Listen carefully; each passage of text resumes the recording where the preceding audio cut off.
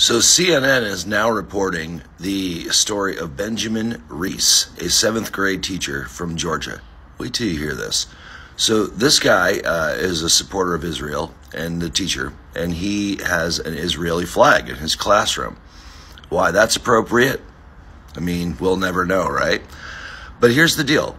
This seventh grade student spoke up and said that, you know, she was offended by that, that he's that he had this flag in there. I mean, she gets her opinion, right?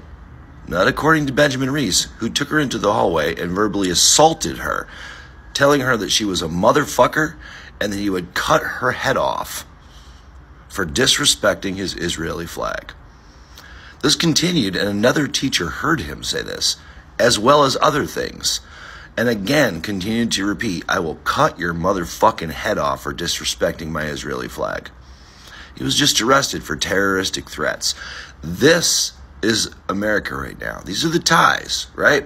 So deeply ingrained into our American society that a teacher of children, a teacher of a seventh grade child, feels perfectly welcome to verbally assault and threaten to cut a seventh grader's motherfucking head off.